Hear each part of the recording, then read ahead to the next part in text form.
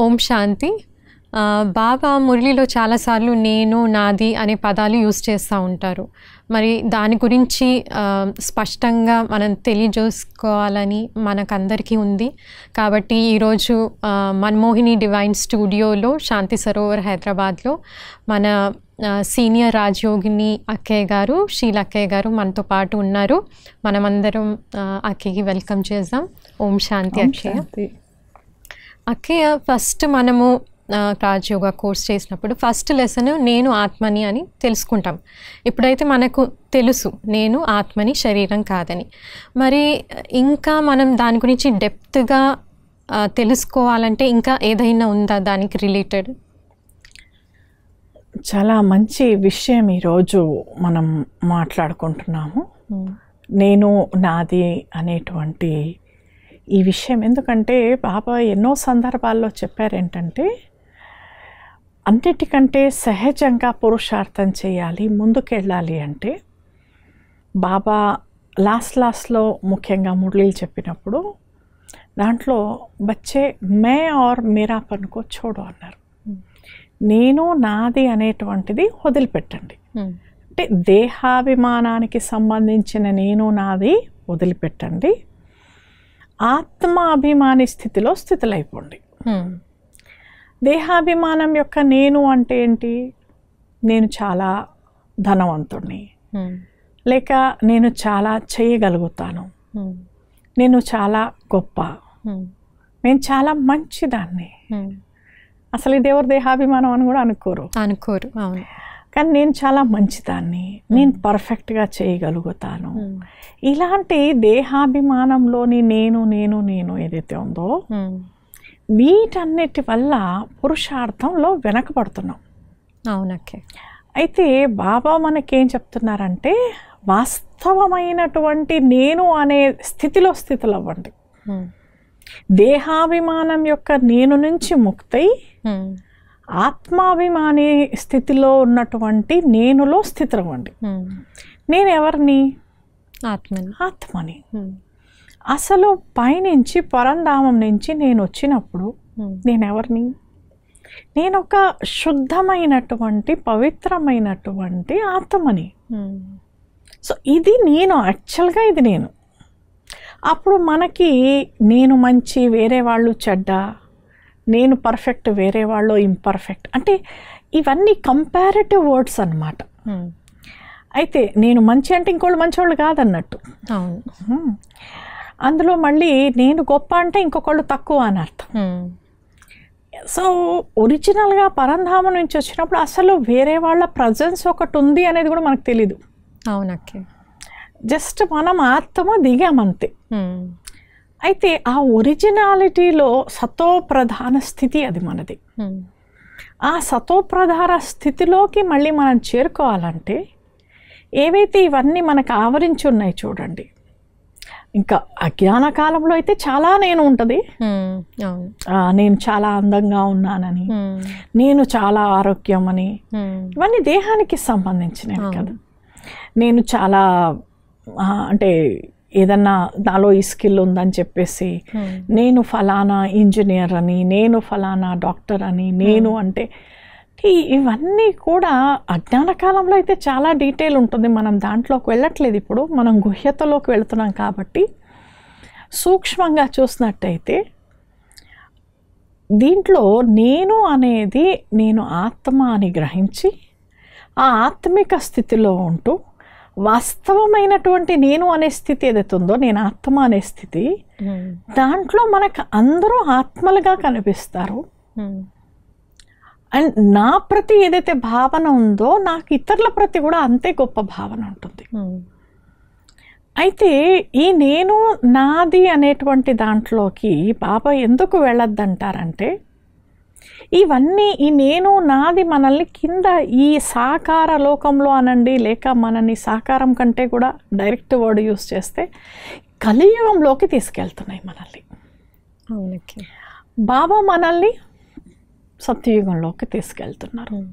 సత్యయుగంలోకి వెళ్ళాలంటే దానికి ముందు సంగమయుగంలోకి రావాలి. అవును. సో మన ఆలోచన సరళి ఏదైతే ఉందో అది సంగమ యుగంలో ఉండాలి అంటే నేను ఎవరిని? నేను బాబా బిడ్డని. ఇది సంగమ యుగంలోని నేను అనే ఫీలింగ్ నేనెవరిని? నేను ఆత్మ. బాబా ఇచ్చిన స్వమానాలు వరదానాలు ఏవైతే ఉన్నాయో అవన్నీ నేను. నేను విశ్వ కళ్యాణకారి ఆత్మని. నేను నేను బ్రాహ్మణాత్మని నేను ఈశ్వరీయ సంతానాన్ని. నేను ఆధారమూర్తుని నేను ఉద్ధారమూర్తుని ఇవన్నీ ఎలాంటివంటే స్వమానాలు. అంటే కేవలం నేను నేను నేను ఆత్మ నేను ఆత్మ బాబా అంటారు బోర్ అయిపోతారు. కొంచెం టైం తర్వాత డ్రైనెస్ వచ్చేస్తుంది దాంట్లో. ఎంతసేపు అని ఊరికే బాబా ఈరోజు మురళిలో అన్నాడు చూడండి బింది బింది బింది అని. ఎంతసేపు అని ఆ బింది అనుకుంటాం ఉమ్, సో నేను ఎటువంటి ఆత్మని? నేను ఆత్మ ఓకే కానీ నేను ఎటువంటి ఆత్మ అనేటువంటి ఆ స్వమానం మనం జోడించినప్పుడు మనం యథార్థంగా ఆ నేనులో స్థితవగలుగుతాం అందులో ఇంకా దేహాభిమానం అనేది అంశమాత్రం కూడా ఉండదు. సో మనం ఎప్పుడైతే ఈ దేహాభిమానానికి సంబంధించినటువంటి నేను నుండి ము- ముక్తి అయిపోతామో అప్పుడు మనం కలియుగం నుంచి బయటపడ్డట్టే. అవును. ఇంకో రకంగా చెప్పాలంటే దుఃఖధామం నుండి బయటపడ్డట్టే. ఈ ఒక రకంగా ఇంకా అంటే మనము హద్దుల్లో నుంచి బయటపడ్డట్టు. అవును. సో మనకి ఒక పంజరం నేను అనే పంజరం ఏదైతే ఇన్ని రోజుల నుంచి మనం తయారు చేసుకున్నామో వాటి నుంచి బయటపడి స్వయాన్ని మనం చూసుకొని స్వయంలో ఉన్న శక్తులని మనం వెలికి తీసి వాటిని కార్యంలో పెట్టి అద్భుతాలు చేయొచ్చు అంటారు బాబా. అందుకని నేను అనేటువంటిది యథార్థంగా అర్థం చేసుకొని ఆ యథార్థంలోనే ఉండడమే అసలైన నేను అనే. అంటే దేహాభిమానం నుంచి అతీతమై ఆత్మాభిమాని స్థితిలోకి వచ్చేయడం అని బాబా అంటారు. ఈ శిక్షణ మీకు ఇస్తున్నాను అంటారు అందుకని ఎప్పుడు మనం నేను అన్నా ఇక్కడ దేహాభిమానం యొక్క నేను కాదు. నేను అనగా నేను ఆత్మ. ఎటువంటి ఆత్మ? బ్రాహ్మణాత్మ. సంగమయోగి ఆత్మ. సో ఇలా స్వమానంతో పాటు మనం అన్నప్పుడు మనకు అక్కడ దేహాభిమానం నుంచి ఫ్రీ అయిపోతాం అనమాట ఇంకా మనం ఆ హై స్టేజ్లో కూడా ఉంటాం ఉండొచ్చు. కాన్షియస్నెస్ చాలా బాగుంటుంది. అక్కయ్య గారు చాలా బాగా ఎక్స్ప్లెయిన్ చేశారు. నేను అనే పదాన్ని మనం ఎలా వాడతామో ఇన్ని రోజులు మనకు తెలియలేదు. కానీ ఇప్పుడు వివరంగా తెలుసుకున్నందుకు చాలా బాగా అనిపిస్తుంది. అక్కయ్య ఇప్పుడు నేను అనే దాని గురించి అయితే చాలా బాగా మీరు వివరించారు. మరి నాది అంటే ఏంటి? దాని గురించి కూడా కొంచెం స్పష్టంగా చెప్పండి. నేను తర్వాత వచ్చేది నాది. అవును. కానీ ఈ నేను నాది అనేది మనల్ని ఈ ఈ కింద ప్రపంచంలో చిక్కుకునేటట్టు చేస్తున్నాయి. దేహాభిమానం యొక్క నేను నాది. ఏ క్షణమైతే దేహాభిమానం యొక్క నేను లేదు దేహాభిమానం యొక్క నాది కూడా లేదనుకోండి. ఇక మిగిలింది నేను ఆత్మ. నాకు బాబా. సో ఏదైతే మనం కోరుకుంటున్నామో నిరంతరంగా అందులో ఉండిపోవచ్చు. కానీ సెకండ్లో నా బాబా అనే స్థితిలో ఉన్నప్పుడు అందులోనే ఉండాలి. అసలైతే మన లక్ష్యం అందులోనే ఉండాలని. కానీ ఇంకో క్షణం నా పిల్లాడు ఇంకా రాలేదే. అవును. నా శరీరంలో కొంచెం ఏదన్నా ఇబ్బంది ఉన్నట్టుంది నా మందులు వేసుకోవాలి. ఎలా ఉంటుంది? నా ఒకటి నిమిత్తంగా చేయడం వేరు ఇంకొకటి నాది అనే ఫీలింగ్తో చేయడం వేరు. నా అబ్బాయి అందరికంటే మంచిగా ఉండాలి. నా అబ్బాయి అందరికంటే బాగా చదువుకోవాలి బాగా సంపాదించాలి బాగా పేరు. సో నా అనే దాంట్లో ఏమైపోయిందంటే మళ్ళీ ఆకర్షణ వచ్చేసింది. సో ఈ ఆకర్షణ అనేది ఏదైతే ఉందో ఇది మనల్ని కిందకి లాగుతోంది. ఉన్నత స్థితిలో ఉండనివ్వట్లేదు. సో నాది అంటే మళ్ళీ నా చాలా డీటెయిల్ చాలా ఉన్నాయి. నా అంటే ఎన్ని ఉన్నాయో చాలా ఉన్నాయి. అండ్ ఇంకో అద్భుతం ఏంటంటే ప్రతి జన్మలో దేహాభిమానం యొక్క నేను మారుతుంది నాది మారుతుంది. రెజ్యూమ్ మారిందంటే? మొత్తం ప్రొఫైల్ మారిపోతుంది. సో ఇప్పుడు మనం ఈ ప్రజెంట్ టైంలో మాట్లాడుకున్నట్టయితే నా ఆధార్ కార్డ్ అంటాం. అవును. నా పాన్ కార్డు నా పాస్పోర్ట్ నా రెష్యూమ్ ఇవన్నీ నా అయిపోయాయి. ఇవన్నీ నేను పరంధావం నుంచి వచ్చేటప్పుడు లేవుగా? అవును. రేపు వెళ్ళేటప్పుడు కూడా ఉండవు నీ- నాకు ఇవి అవునక్కి. అవునా? సో అందుకే ఏమంటారంటే ఈ నా నా నా నా ఏవైతే ఉన్నాయో నా సంబంధికులు నా ఇల్లు నా డబ్బులు నా నా నా ఎక్కడెక్కడెక్కడైతే ఉన్నాయో ఉమ్, వాటన్నింటినీ ఒక్క నా బాబాలో సమర్పితం చేసేయండి అంటారు బాబా. ఉమ్, అంటే ఇవన్నీ నావి కావు. ఎన్నో నా ఉన్నాయి డీటెయిల్గా వెళ్తే. బ్రహ్మ బాబా ఎప్పుడు నోటి నుండి అసలు నా దుప్పటి అనే మాట కూడా రాలేదట బాబా నోటి నుంచి. అంటే అంత అటెన్షన్ బాబా పెట్టి ఉన్నారు తన పైన. చాలా వండర్ఫుల్. ఎందుకంటే అసలు ఎంత ఈజీగా మనకు వచ్చేస్తుంది నా పెన్నివరా అంటాం. అవును. అక్కడ నా అంటే బాబా అంటారు ఏదైతే నువ్వు నా అన్నావో అది నిన్ను అంటుకునే ఉంటుంది. అవునక్కి. దాన్ని మర్చి ఇప్పుడు నేను బాబాను గుర్తు చేయాలంటే ఆ నా గుర్తొస్తూనే ఉంటుంది. అవును ట్రూ ఎక్కడెక్కడ నా ఉంటుందో నాకు గుర్తొస్తూ ఉంటుంది. ఉమ్, అందుకని ఇంకేది నాది కాదు నా అన్నప్పుడు నాకు ఒక్క బాబానే గుర్తు రావాలి. సో పెన్ ఎవరిది? బాబాది. అవును. ఆధార్ కార్డ్ ఎవరిది? బాబాది.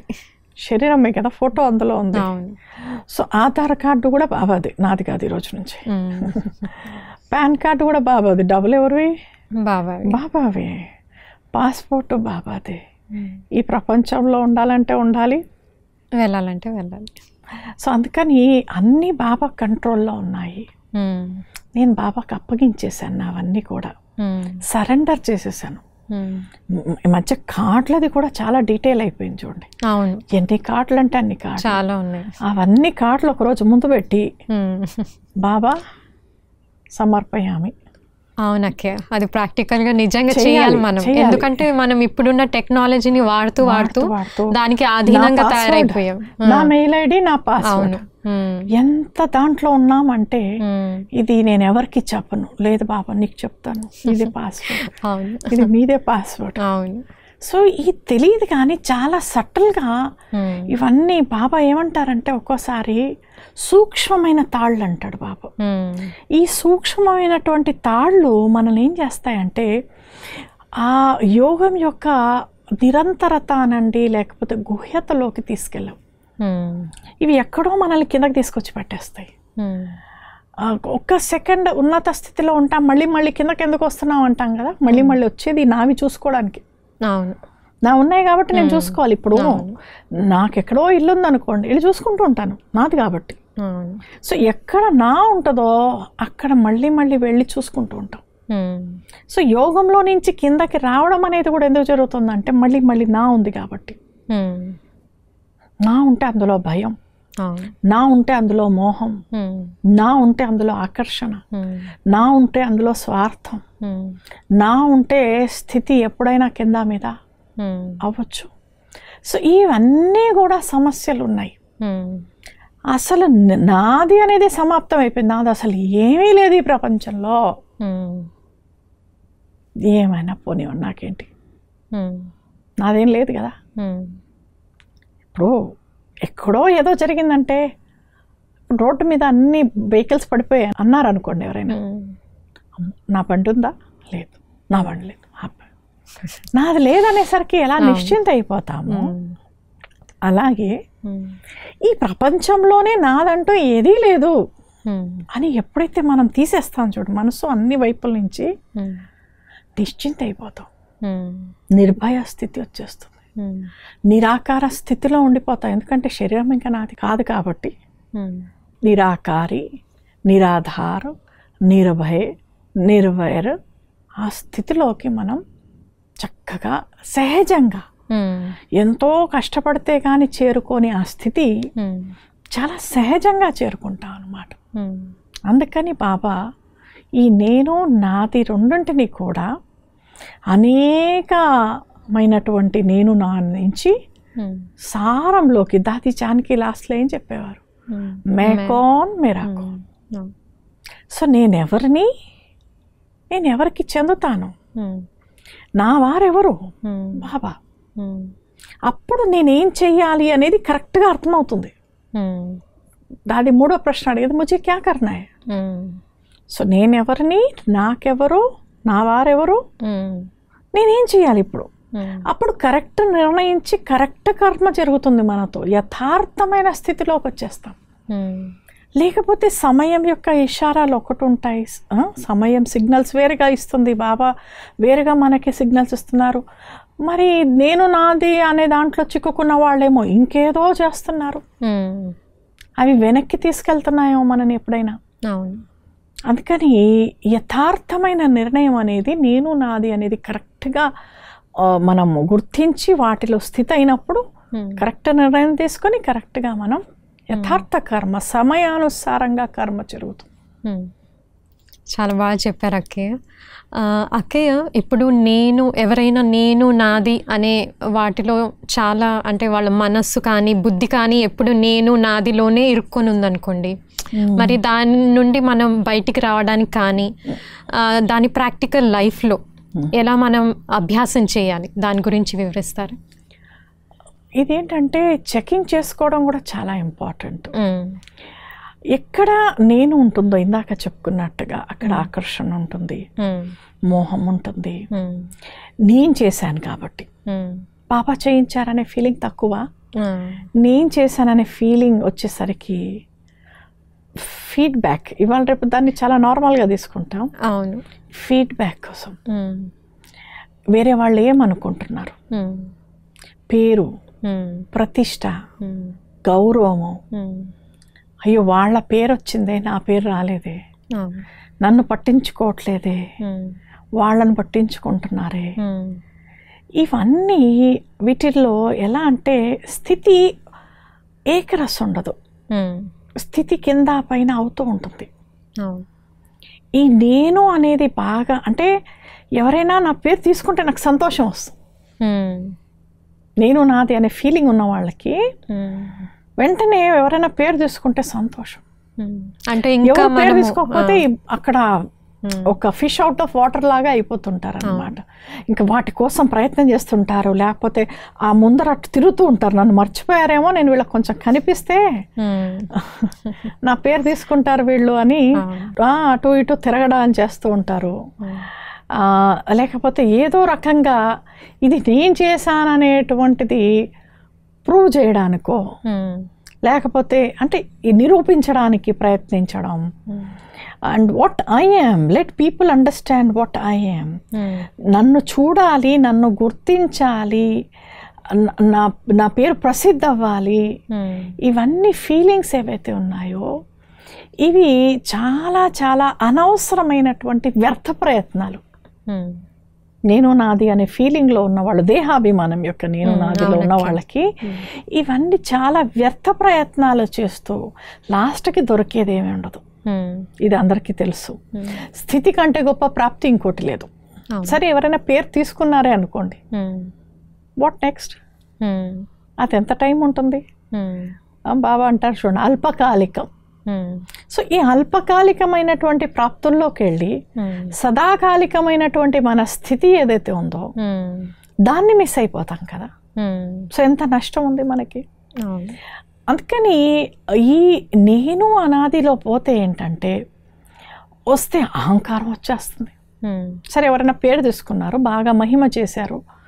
ఇంకా భూమి మీద ఉండరు. అవును. యోగంతో భూమి మీద ఉండకపోవడం అదొక స్థితి. కానీ అహంకారంతో భూమి మీద ఉండకపోవడం అది ఇంకో త్రిశంకు స్వర్గం అనమాట అవును. సో వా ఆ స్వరూపంలో ఏంటంటే అది ఇంకా అహంకారం వచ్చినప్పుడు వేరే వాళ్ళని ఇన్సల్ట్ చేయడం మొదలు పెడతారు. అవమానించడం వేరే వాళ్ళని కించపరచడం లేకపోతే హ్యూమిలియేషన్ ఇతరులను హ్యూమిలియేట్ చేయడం లేకపోతే ఇంకొకళ్ళు వేరే వాళ్ళు హ్యూమిలియేట్ చేస్తారనే భయంతో బ్రతకడం. అవమానం కూడా భయమే వాళ్ళకి. అంటే ఎక్కడ నన్ను అవమానిస్తారో ఎక్కడ నా పేరు పాడవుతుందో అని ఆ పేరు ప్రతిష్టలను అలా జాగ్రత్తగా కాపాడుకుంటూ. అంటే అన్నారేమో ఇట్స్ ఓకే స్వమానంలో ఉండడం వేరు అహంకారంలోకి వెళ్ళడం వేరు. బాబా మనకిచ్చారు స్వమానం. ఇప్పుడు నేను పూర్వజాత్మ అనే స్వమానం ఉందనుకోండి. ఇందులో ఏమీ విఘ్నాలు లేవు. ఇందులో ఏం భయాలు లేవు. నన్ను ఎవరు దించుతారో ఆ స్వమానం నుంచి నేను పూర్వజాత్మ పూజ్యాత్మ నేను ఆ స్వమానంలో ఉన్నాను. దీంట్లో పరీక్షలు లేవు. అది మంచి సీట్ అన్నమాట. ఉమ్. ఎలా అంటే సెక్యూర్డ్ సీట్ అన్నమాట బాబా మనకి ఇచ్చింది సేఫ్ సీట్. ఆ సీట్లో కూర్చుంటే అసలు దాంట్లో ఇప్పుడు నేను కూర్చున్నాను. మీకేం తెలుస్తోంది? అదే నేను చాలా గొప్ప అని కూర్చున్నాను అనుకోండి మీరు నన్ను ఏదో రకంగా చేస్తారు. చెయ్యాలనిపిస్తుంది. ఎందుకంటే దేహాభిమానం కదా. దేహాభిమానంలో ఉన్నప్పుడు వేరే వాళ్ళు మనతో కంఫర్టబుల్గా ఉండరు.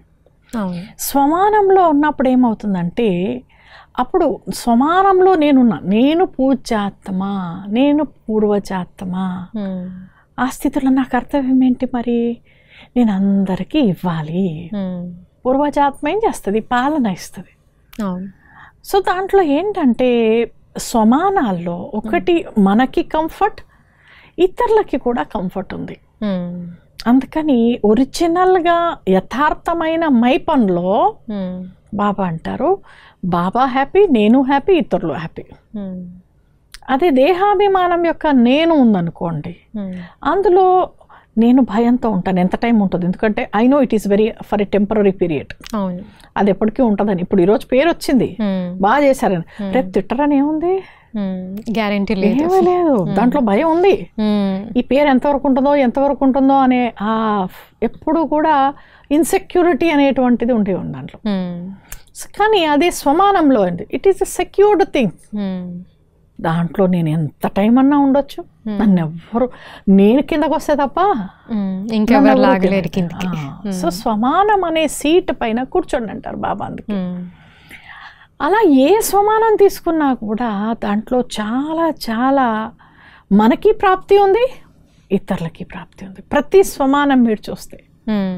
నేను మహానాత్మ అనుకున్నాను అనుకోండి. మహానాత్మ పని ఏంటి? ఇతరులను కూడా మహాన్ చేయడం. మహాన్గా చూడడం. సో చూడండి ప్రాప్తి నాకు ఉంది ఇతరులకి ఉంది. అండ్ ఇలా చేస్తున్నప్పుడు బాబా కూడా హ్యాపీ. సో అందుకని స్వమానం యొక్క నేను అనే దాంట్లో ఉండండి కానీ దేహాభిమానం యొక్క నేనులోకి పోవద్దంటారు బాబా.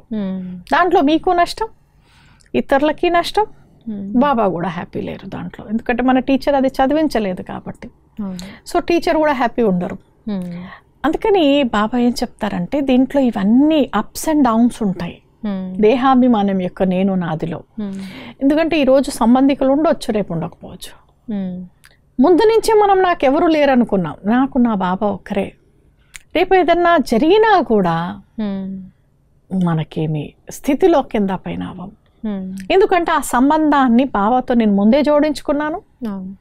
ఆ సంబంధం కేవలం నిన్న అనుకున్నట్టుగా సంబంధమే సరిపోదు. ఉమ్, సంబంధం యొక్క ఆ సుఖాన్ని నేను పొందాలి బాబాతో. ఇప్పుడు ఒక రిలేషనే ఉంది ఎవరైనా. ఫాదర్ మదర్ రిలేషన్ బాబాతో ఫాదర్ అనే రిలేషన్ పెట్టుకున్నాను కానీ ఆ సుఖము ఎప్పుడు నేను ఫీల్ అవ్వలేదు అనుకోండి ఉమ్, ఆ సుఖం కోసం మళ్ళీ ఇటు వెళ్తాం. ఆకర్షణ బయట ఎందుకంటే మనకు రిలేషన్ ఇంపార్టెంట్ కాదు. రిలేషన్ ద్వారా జరిగే ప్రాప్తి. బాబా అంటాడు సంబంధం యొక్క రస్. అంటే ఎవరి రిలేషన్ గివ్ సమ్ అటైన్మెంట్ అన్నమాట. ఆ అటైన్మెంట్ నాకు బాబా నుంచి అనుభవం కావాలి. ఈ రిలేషన్లో బాబా నుంచి నాకు ఈ అటైన్మెంట్ ఉంది. నేను already I had that experience అనమాట ఆ ఎక్స్పీరియన్సే మనని బాబాతో జోడించి పెడుతుంది. సో అందుకని స్వమానంలో ఉంటూ బాబాతో సర్వ సంబంధాలు పెట్టుకుంటూ సర్వ ప్రాప్తులని కూడా మనం బాబాతో అనుభవం చేయడం. ఎందుకంటే ఇంకెక్కడైనా ప్రాప్తి ఉందనుకో నా ప్రాప్తి అని కూడా వెళ్తాం మళ్ళీ. అవును. నా సంబంధికులు నా ప్రాప్తి. నా ప్రాప్తులు ఎక్కడెక్కడ ఉన్నాయి మళ్ళీ అక్కడ వెళ్తాం. కానీ అందుకని నాకు అవినాశి ప్రాప్తులపైన అట్రాక్షన్ ఉండాలి. వినాశి ప్రాప్తుల కంటే కూడా అవినాశి ప్రాప్తులు ఇచ్చేది నా అవినాశి బాబానే. కాబట్టి అప్పుడు బుద్ధి యొక్క బాబా వైపే వెళ్తుంది. దీంట్లో ఏమవుతుందంటే మాన అపమానం నింద స్థుతి. ఎవరైనా అవమానించినా పర్వాలేదు. ఏమనిపించదు అనమాట ఎవరైనా మహిమ చేస్తున్నా నీది కదా బాబా మాదే ఉంది. తయారు చేసింది కూడా మీరే.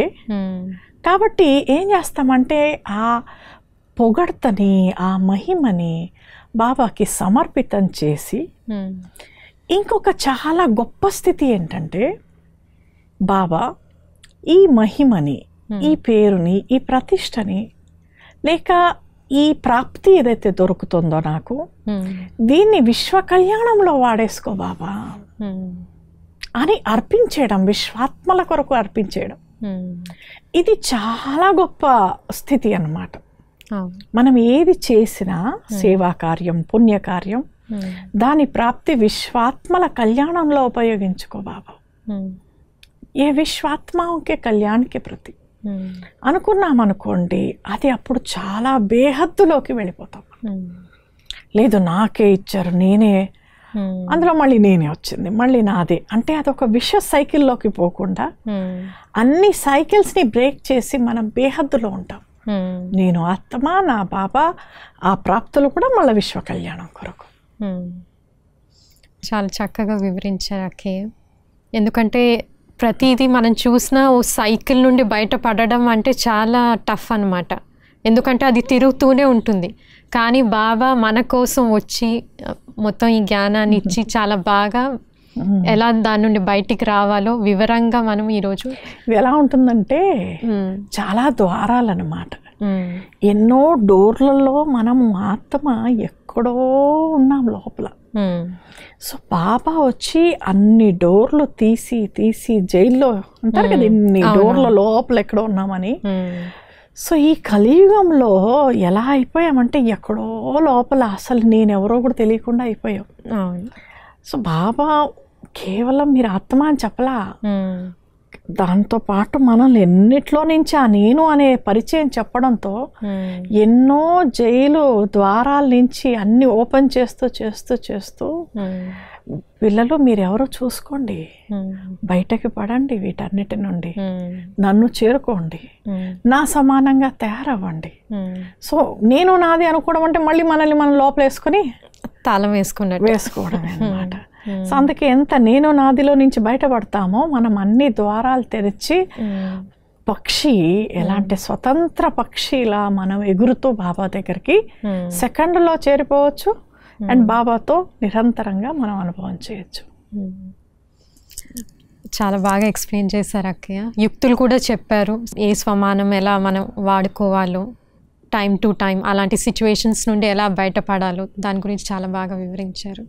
ఈ యుక్తుల్లో ఇంకొక రెండు విషయాలు ఏంటంటే మనం ఇలా ఉన్నప్పుడు ఏమవుతుందంటే టెంపరీ ప్రాప్తులు వెనుక వెళ్ళకుండా నాకేమీ వద్దు. ఒకటి సంతుష్టంగా అయిపోవాలి మనం. చాలా చాలా సంతుష్టంగా నాకు అసలు ఎవరి నుంచి ఇక ఏమీ వద్దు. నాకు అన్నీ ఉన్నాయి బాబా ఇచ్చినవి. మీకేం కావాలని అడిగితే కూడా we have no idea because we don't want anything అందుకని అసలు సంతుష్టత అనేది ఏదైతే ఉందో ఉమ్, ఈ నేను నాది అనేది ఇట్స్ అ థర్స్ట్ యాక్చువల్లీ అదొక దప్పిక అనమాట పేరు ప్రతిష్టలు ఉమ్, ఆ, పొగడ్తలు ఇవన్నీ ఒక థర్స్ట్ అన్నమాట. ఉమ్, ఇవి నా ఎప్పుడైతే నేను ఆత్మ అనే స్థితిలో ఉంటామో మనం తృప్తి అయిపోతాం బాబా నుంచి ఈశ్వరీయ ప్రాప్తులతో భర్పూర్ అయిపోయినప్పుడు నిండుగా అయిపోయినప్పుడు ఉమ్, మనం చాలా చాలా తృప్తి అయిపోయినప్పుడు ఇంకా మనకి అసలు ఇంకేమీ వద్దనిపిస్తుంది. ఏమి వద్దన్నప్పుడు ఎవరికైనా ఏదైనా దొరుకుతుందంటే మనం కాంపిటీషన్స్లోకి పోం. ఉమ్, తీసుకోలేండి ఏం పర్లేదు. నాకేం తక్కువ లేదుగా. నాకేం అవసరం కూడా లేదు. బాబా ఇచ్చిందంతా ఉంది. సో ఇంకా నేనేంటి నాకేం దొరుకుతుంది అనేది నాకు తెలుసు కాబట్టి. నాకు షో ఆఫ్ చేసేది కూడా లేదు. సో అందుకని ఎవరికైనా ఏదైనా ప్రాప్తి దొరుకుతుంటే కూడా ఓకే లెట్ ఇట్ ఎందుకంటే నేను హ్యాపీగా ఉన్నాను కాబట్టి వాళ్ళని హ్యాపీగా చూడదలుచుకుంటాను. నాకు తక్కువ ఉంటేనే వేరే వాళ్ళ ప్లేట్లో ఏం వేస్తున్నారని చూస్తాం. నాకు నిండుగా ఉంటే నా దాంట్లో నుంచి వేరే వాళ్ళకి పెట్టడానికి చూస్తాను. అమ్మో చాలా ఎక్కువ ఉంది బాబు. అవును. సో నా ప్లేట్లో తక్కువ ఉందనుకోండి చిన్న పీస్ పెట్టారు పక్క వాళ్ళకి పెద్దది చూస్తారు. సో అందుకని మనల్ని మనం భర్పూర్గా చేసుకోవడం చాలా ఇంపార్టెంట్ ఫస్ట్. అందుకే బాబా స్లోగన్ ఏముంది? ఫస్ట్ స్లోగన్ పానా థావో పాలియా అబ్బు కుచ్ బాకీ నెహి మ్మ్. ఇంకా నాకు పొందేది ఏమీ లేదనే స్థితిలోకి ప్రతి బ్రాహ్మణ ఆత్మ రావాలి మ్మ్. నేను అన్ని పొందేశాను బాబా అనే ఈ స్లోగన్ రాకపోతే మనం బ్రహ్మావ పిల్లలం ఎలా అవుతాం చెప్పండి అవును? నా తండ్రి ఏమో పొందాలనుకున్నదంతా పొందేశాను అనుకు అంటున్నారు. మ్మ్. మనమేమో ఇంకా పొందాలి బాబా ఇంకా పొందాలి బాబా అంటే ఇంకెప్పుడు పొందుతాం మనం? టైం అయిపోతూ ఉంటే.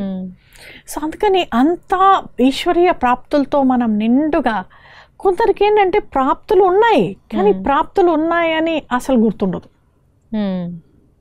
ఎలా అంటే ఇంట్లో ఆ వస్తువు ఉండొచ్చు.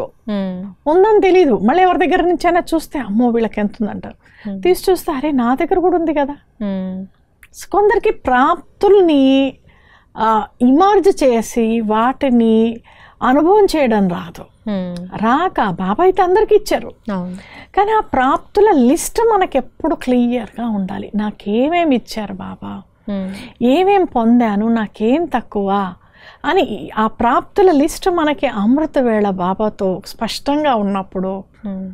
చాలా చాలా బాబా ప్రతి ఆ గ్రాటిట్యూడ్ అనండి ఆ థ్యాంక్స్ ఫీలింగ్ అనండి. మ్మ్. శుక్రియా బాబా తప్ప ఇంకో మాట రాదు మనకి. మ్మ్. ఇది కావాలి బాబా అది కావాలి బాబా ఇంకా ఇది లేదు బాబా నువ్వు అది చూడు బాబా. మ్మ్.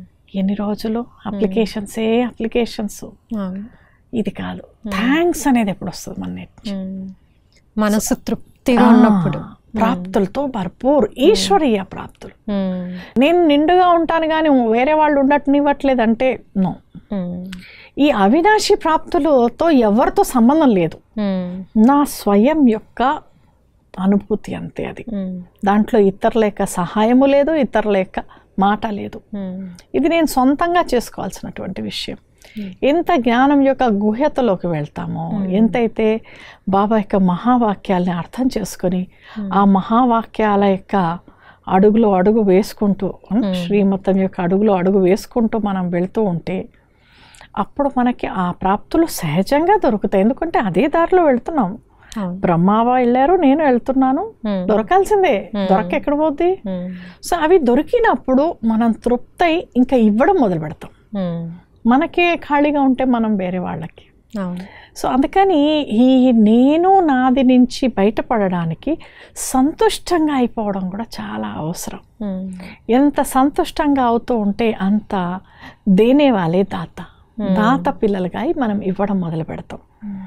అయితే దీంట్లో యుక్తులు అంటే ఏంటంటే మనం ఒక కొంచెం సేపు కూర్చొని ఏకాంతంలో.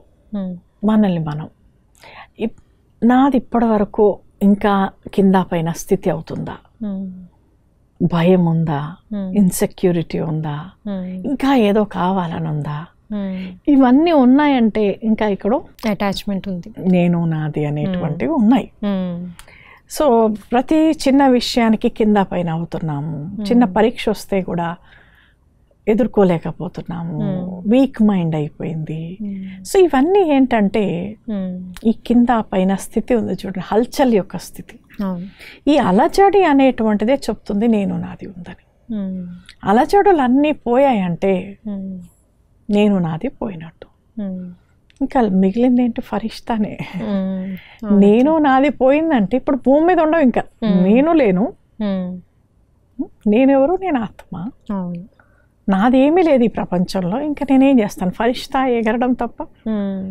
నేను ఆత్మ నా బాబా? ఇంకా ఫరిష్తా ఎగరడమే ఉంటుంది నా పని. అవును అయితే ఆ బేహద్దు స్థితిలో ఉండొచ్చు అనమాట మ్మ్. బేహద్దు స్థితి ఏంటంటే నిరంతరంగా ఉండే స్థితి. హద్దు యొక్క స్థితి కింద మీద పైన అవుతూ ఉంటుంది. సో కిందకు వచ్చాము నేను ఒక ఫలానా ఉన్నాను. నేను ఒక మాత. లేక నేను ఒక పురుషుణ్ణి. ఇవన్నీ దేహాభిమానం కదా వీటిల్లో ఏంటంటే ఏం స్టెబిలిటీ లేదు.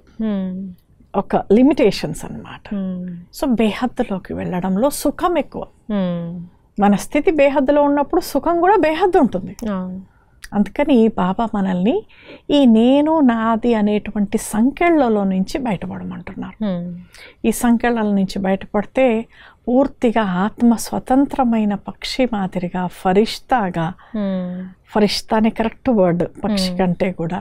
ఫరిష్తా అంటే బాబా అంటారు కిసీసే కోయి ఉమ్, ఒక్క బాబాతోనే అన్ని రిష్తా పెట్టుకొని దేహంతో కూడా రిష్తా లేదు మనకి. ఈ దేహంతో కూడా సంబంధం లేదు.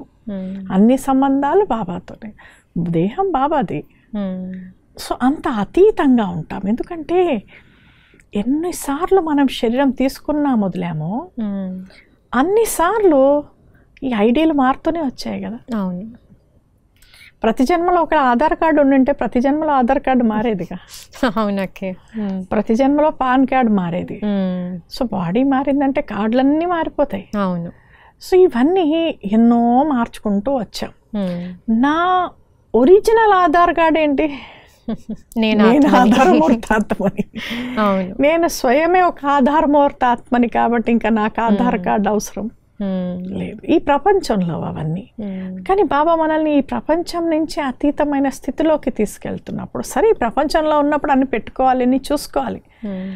కానీ ఆ వచ్చిన కొంచెం సేపు కూడా ఎలా బాబా వస్తారు చూడండి ఎలా బాబా శరీరంని వాడుకునే పద్ధతి చూస్తే. ఉమ్, దాదిలో వస్తారో మాట్లాడతారో ఇంద్రియాలని ఉపయోగిస్తారు సెకండ్లో డిటాచ్ అవును. అలా మనం అన్నింటినీ వాడాలి అన్నింటినీ చూసుకోవాలి పెట్టుకోవాలి చేయాలి సెకండ్లో డిటాచ్ అదే ఉన్నప్పుడు యథార్థంగా మనం ఉపయోగించడమే గెస్ట్ హౌస్ అంటారు బాబా శరీరంని.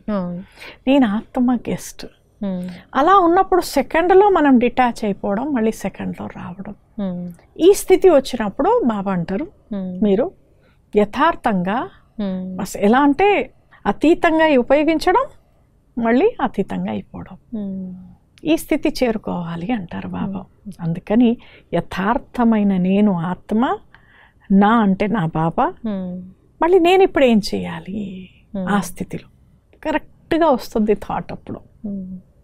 చాలా బాగా ఎక్స్ప్లెయిన్ చేశారు అక్కయ్య. ఇంకా యుక్తులు కూడా చాలా బాగా ఇచ్చారు. అంటే అమృత వేళ మనని మనం చెక్ చేసుకోవడము ఇంకా ప్రాప్తి ఏదైతే మనం బాబాతో పొందామో ఆ లిస్ట్ రాసుకోవడం పదే పదే దాన్ని రివైజ్ చేసుకోవడం ఆ సంతుష్టత అనే స్థితిలో స్థితి అయిపోవడం వల్ల మనం ఎప్పుడు అంటే ఓ ఫరిష్టాల ఎగురుతూనే ఉంటాం కానీ ఏ బంధనాలు నేను నాదిలోకి అవును. చిక్కుకోమన్నమాట. థ్యాంక్ యూ ఓకే చాలా బాగా ఎక్స్ప్లెయిన్ చేశారు. ఓం శాంతి. ముందు ముందు మనమందరము మన పురుషార్థంలో ఏవైతే మనకి విఘ్నాల రూపంలో వస్తాయో లేకపోతే ఏ సందేహాలు ఉన్నాయో మనము మన ఆ, శీలాకే ద్వారా అన్నీ వివరంగా తెలుసుకుందాము. ఓం శాంతి. మీరు మన్మోహిని డివైన్ స్టూడియో శాంతి సరోవర్ హైదరాబాద్ ఛానల్ని విజిట్ చేస్తూ ఉండండి. దాంతోపాటు మీరు సబ్స్క్రైబ్ చేసుకుంటే ముందు ముందు మన మంచి మంచి క్లాసెస్ గురించి మంచి టాపిక్స్ అవన్నీ మీరు చూడగలరు. దాంతో చాలా లాభాలు పొందుతారు. ఓం శాంతి.